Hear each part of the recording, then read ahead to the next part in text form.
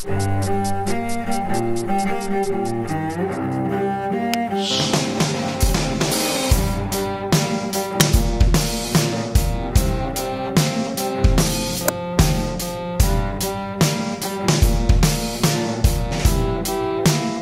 unnecessary risk in a tough course can eat you up. A great on-course game plan to help you play aggressively and without fear is to make confident swings at conservative targets. Gotta remember, golf course architects and superintendents are diabolical.